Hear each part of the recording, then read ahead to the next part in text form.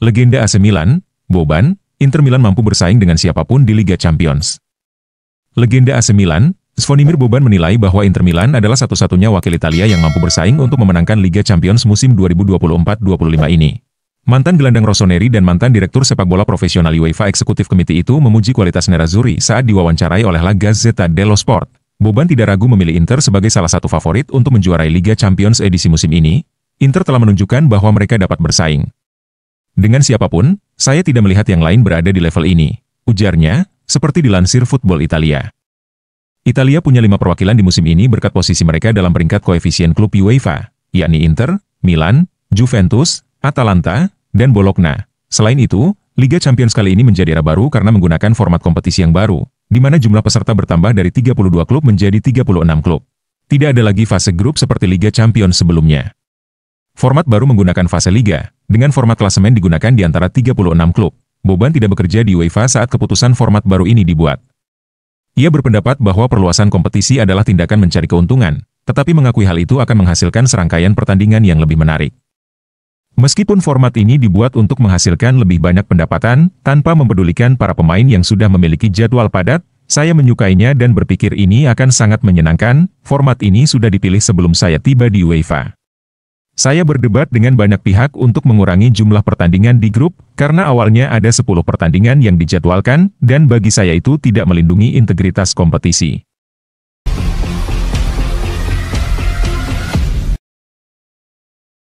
Fabio Cupello, sudahi sikap kekanak-kanakan Mulao. Dalam wawancara terbarunya dengan Il Corriere della Sera, mantan pelatih legendaris Fabio Cupello melontarkan kritik tajam kepada AC Milan dan bintangnya, Rafael Leao. Kupelo menyoroti performa Milan yang tidak memuaskan di awal musim 2023-2024 dan menyebut Lao harus menjadi lebih dewasa dalam permainannya. AC Milan hanya berhasil mengumpulkan dua poin dari tiga pertandingan pembuka seri A musim ini, dan Kupelo menyatakan keprihatinannya atas kinerja klub. Milan akan kembali beraksi menghadapi Venezia setelah jeda internasional, sebelum menghadapi tantangan besar melawan Liverpool di Liga Champions dan rival sekota, Inter Milan. Di laga derby Serie A, saya harap saya salah, tetapi akan sulit karena Milan sudah terlalu banyak mengalami kesulitan, kata Kupelo, tidak ada yang berubah di Milan, Leao harus menjadi pria yang mengikuti keinginan kekanak-kanakan, tidak ada yang berubah dari musim lalu dalam hal organisasi. Pemain harus bereaksi. Setelah hal konyol yang dilakukan oleh Lao dan Theo, mereka harus membuktikan diri sebagai kelompok yang solid karena keseimbangan adalah hal yang paling penting. Lao menjadi sorotan setelah aksinya di pertandingan melawan Lazio, di mana ia bersama Theo Hernandez menolak waktu istirahat yang diberikan oleh pelatih setelah dimasukkan dari bangku cadangan di babak kedua. Meski demikian, Lao mencetak gol penyelamat dalam laga yang berakhir dengan skor imbang di Stadio Olimpico. Kupelo mengakui bahwa banyak pihak menganggap masalah Milan sebagai tanggung jawab Lao, namun ia menekankan bahwa sang pemain perlu segera berubah, semua yang terjadi di Milan tampaknya merupakan kesalahan Lao. Tetapi ia melakukan segalanya untuk membuat situasi ini terus berlanjut, ujarnya. Tetapi ia adalah satu-satunya yang dapat menciptakan bahaya, sudah saatnya ia menjadi pria yang mengikuti keinginan kekanak-kanakan. Tandasnya.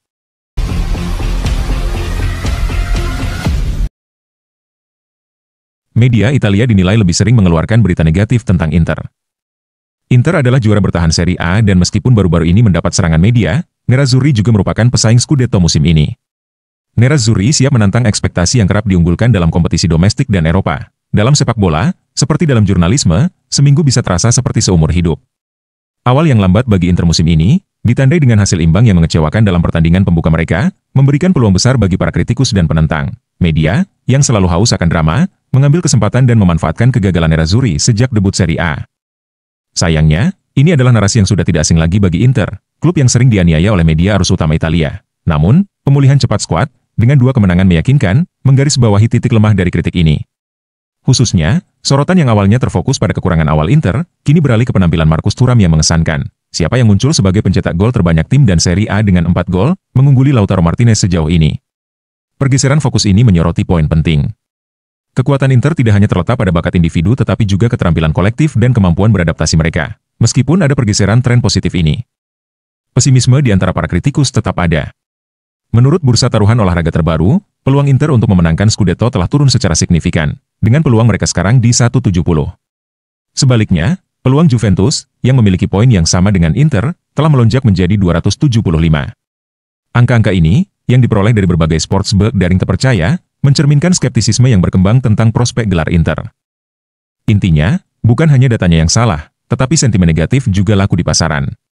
Seperti yang dijelaskan dalam sebuah buku terkenal, The Power of Bad, Negative News Sales, dan artikel dengan judul negatif mendapat permintaan tujuh kali lebih banyak daripada yang dengan judul positif. Oleh karena itu, berita positif Inter tidak laku di pasaran dan oleh karenanya media sekarang banyak menjual berita negatif. Lebih mudah merayakan perjuangan awal tim daripada mengakui potensi mereka untuk bangkit. Kemunduran Inter lebih menarik bagi media daripada kemenangan mereka, yang memicu narasi tentang kurangnya prestasi yang terus-menerus. Pendekatan ini merugikan penggemar olahraga secara umum.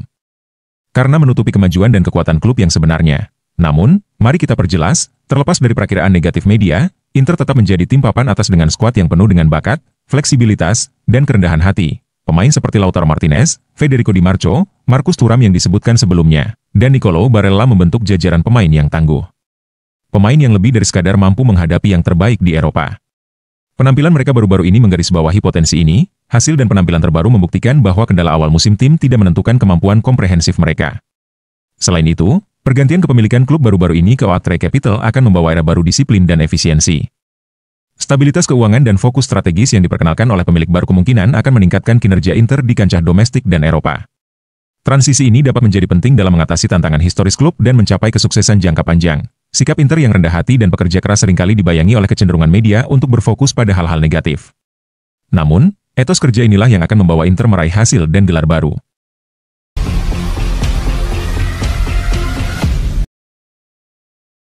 AC Milan pertimbangkan langkah untuk transfer gratis Jonathan David musim depan. AC Milan kembali dikaitkan dengan penyerang asal Kanada, Jonathan David, setelah beberapa kali dihubungkan dalam bursa transfer musim panas lalu. Kini, peluang besar bagi Milan untuk merekrut striker Lille tersebut semakin terbuka, terutama dengan situasi kontraknya yang belum jelas. Pada bursa transfer musim panas 2023, Milan berhasil mendapatkan dua penyerang baru, Alvaro Morata dari Atletico Madrid dan Tammy Abraham dari AS Roma, yang bergabung dengan status pinjaman. Keduanya diharapkan mampu memperkuat lini serang Rossoneri musim ini, dengan Morata didatangkan melalui klausul pelepasan senilai lebih dari 13 juta euro. Namun, situasi Tammy Abraham yang hanya berstatus pinjaman membuat Milan harus mempersiapkan rencana jangka panjang. Jika Abraham kembali ke AS Roma setelah masa peminjamannya, AC Milan perlu mencari opsi lain untuk mengurangi beban di lini serang, terutama untuk memberi dukungan kepada Morata. Menurut laporan dari Pianeta Milan, minat Milan terhadap Jonathan David tidak pernah hilang. Irosoneri terus memantau situasi pemain berusia 24 tahun ini, yang kontraknya dengan Lille akan berakhir pada akhir musim 2023 hingga 2024. Hingga saat ini, David belum menunjukkan tanda-tanda ingin memperpanjang kontraknya. Membuka peluang bagi Milan untuk merekrutnya secara gratis atau dengan harga terjangkau di musim panas mendatang. Dengan ketertarikan dari beberapa klub seri A lainnya seperti Inter, Juventus, dan Napoli, AC Milan perlu bergerak cepat jika ingin mengamankan jasa striker produktif ini. Jonathan David telah menjadi salah satu penyerang paling konsisten di Liga 1, mencetak 24 gol dan memberikan 4 assist pada musim 2023 hingga 2024. Statistik ini membuatnya menjadi incaran klub-klub besar di Eropa.